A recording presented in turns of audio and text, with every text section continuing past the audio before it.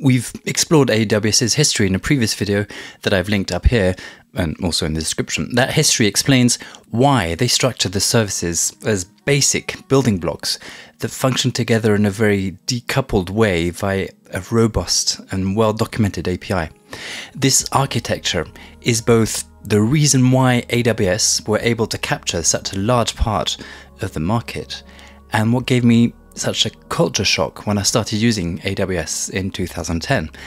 The seven essential AWS services that we're about to explore are also the first and most fundamental building blocks, those that best embody that philosophy.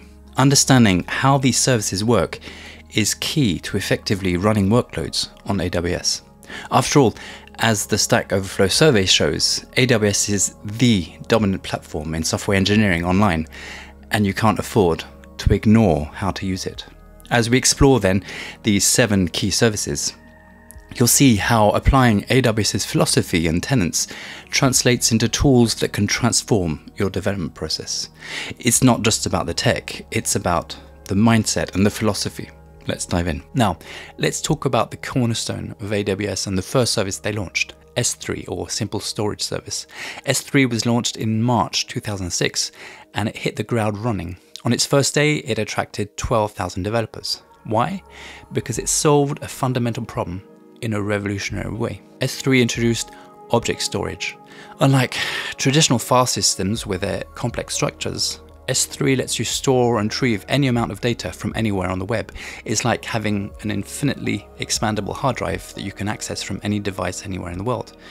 But S3 isn't just about storage, it's a Swiss Army knife for web developers. If you need to host a static website, S3 can do that for you. Do you need an app that can handle tons of user generated content, like images and videos? S3 has got you covered. What sets S3 apart is its scalability and durability. As data is replicated across multiple facilities, you can rest easy knowing that your information is safe and always reliable. Now that we've explored how S3 revolutionized storage, let's go to computing power. What if you could run any application at any scale without ever worrying about the underlying architecture? This isn't just possible, it's been the backbone of countless startups and tech giants starting in 2006. This is where EC2 or Elastic Compute Cloud steps in. EC2 was the second service that AWS launched. EC2 is how AWS provides flexible computing power with scalability and resizable virtual machines. The beauty of EC2 is in its customization.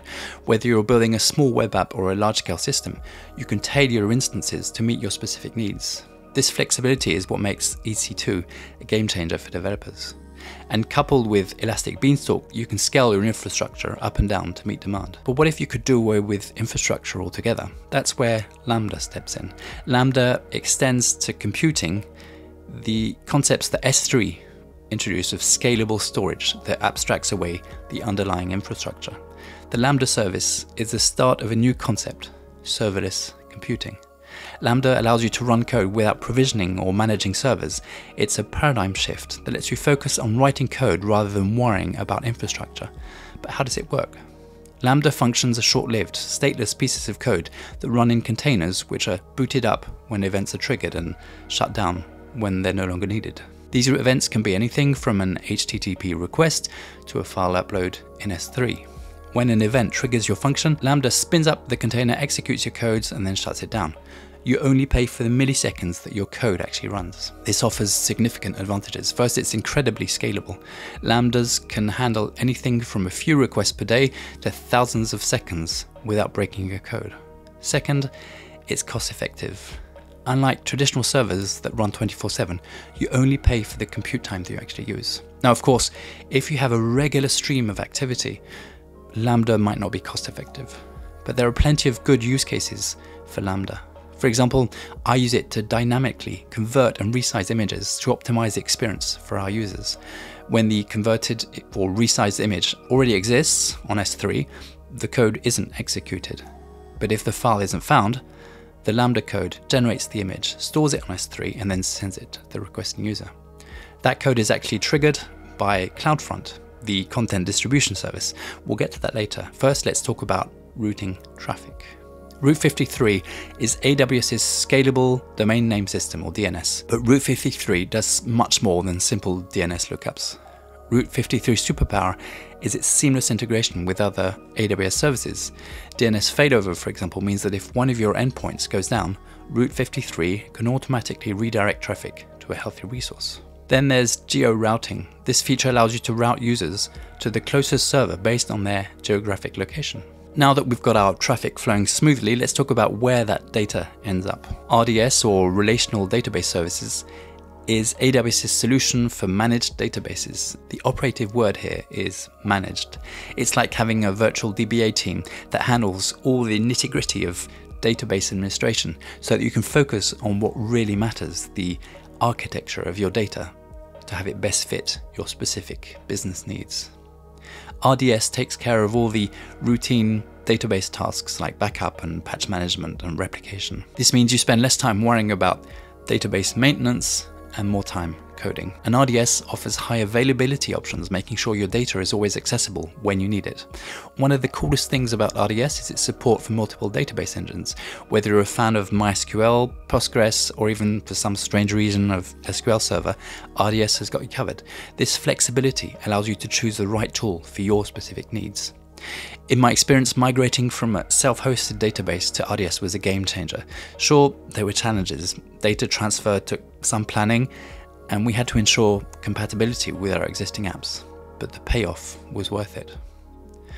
Now, while RDS takes care of your data storage needs, there's another piece of the puzzle that's crucial for delivering that data to users quickly and efficiently. Imagine if you could clone your website and place a copy of it in every major city worldwide. That's what CloudFront offers. AWS's Content Delivery Network, or CDN. It's a global network of high speed servers that replicate your static data at edge locations around the world. When a user requests the data from your website, they're served from the nearest location. CloudFront's strength is in its seamless integration with other AWS services, in particular S3 and Lambda. I store my static assets in S3 and I use CloudFront to distribute it globally. Setting up CloudFront is not the most user friendly experience, but it's simple if you persevere. As I mentioned, you can couple it with Lambda to create an image resizing service. I've also used it to serve static Next.js websites from S3. Let me know if you're interested in learning more about how to do that. Now, while CloudFront speeds up content delivery, there's still one major bottleneck that can slow down even the most optimized web apps. In fact, invariably, when the website I'm working on can't keep up with the traffic, it's usually because I've forgotten to correctly use the service, namely the cache. Elasticache is AWS's in memory data store and cache service. What is a cache and how does it work?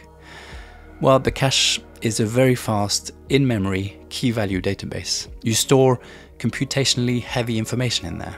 And when a request comes in that needs that info, you start by checking to see if it's available in the cache. This significantly decreases response time and the load on your database, and it means that your app can handle more requests without breaking a sweat. For me, correctly implementing the cache has been the difference between having a functional website or having a blank error page. Now, we've explored these seven key services, each embodying the philosophy of independence and interconnectivity, each designed as a basic building block to enable developers to build exciting new things.